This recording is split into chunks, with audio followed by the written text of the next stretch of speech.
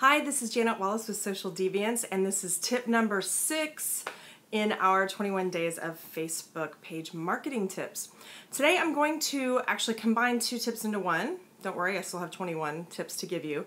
And we're going to talk about how to spread the word about your page within Facebook to the people that you already have on your um, personal profile, as well as to people you have in email accounts. So, in your page on the right hand column, you'll see the invite friends feature in that third column on the right hand side. It used to be called suggest to friends. Well, if you click that, a pop up window will come up and you can suggest it to all the people on your personal profile who haven't yet heard about or liked your page.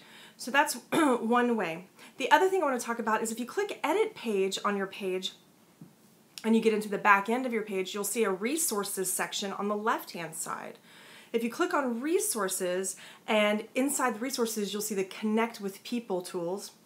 And one of the tools inside there is called Tell Your Fans, which is a, a little bit misleading because what that is is if you click on Tell Your Fans, you can actually import a CSV of email addresses or you can merge your Hotmail, Yahoo accounts, etc you cannot do um, Google for for obvious reasons between Facebook and Google that we won't go into.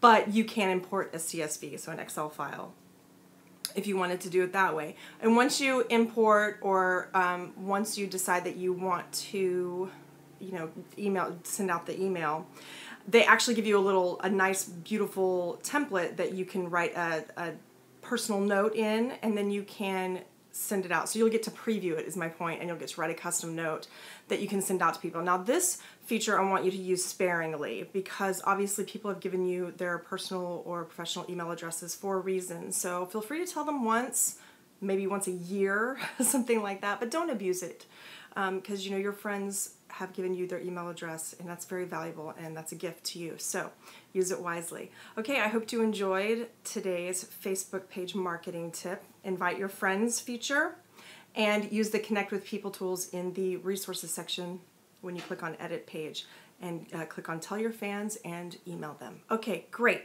Thank you. Have a good day.